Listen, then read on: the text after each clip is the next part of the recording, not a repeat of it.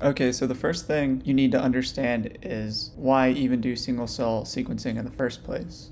The answer is pretty straightforward. You have multiple cell types within a single tissue. For example, here I'm just showing the lung, but even within a small subsection of the lung, you would have multiple different cell types.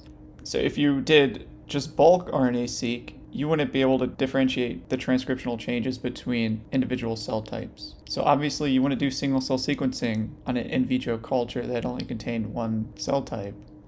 So just a very brief crash course into the actual methodology of single cell sequencing. I'm just showing 10x droplet-based single cell sequencing here because it's one of the most popular methods. But basically, you have these beads that have known barcodes attached to them, and you squirt them through these microfluidics with your cells, and they get partitioned into little droplets. So your cell is in an individual droplet with one of these barcoded beads. And since they're suspended in oil, they don't recombine, and then you can process them individually in downstream reactions. And in the end, you have a library that looks like this. The two most important features being the 10x barcode, which is just a string of known nucleotides which can identify which cell this read came from. And then you have the UMI, which is a unique molecular identifier. So it's another barcode that's not specific to an individual cell, but it gets amplified in the PCR steps so that you can differentiate between PCR duplicates and actual gene copies.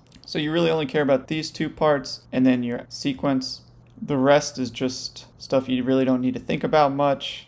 So in the end, you have a bunch of reads with cell barcodes, molecular barcodes, and you can tell which cells they came from. And then when you process the reads in something like Cell Ranger, all the output really is is a count matrix, you can think of each column being the data from an individual cell and each row being the data from an individual gene and the entries just being the number of UMI.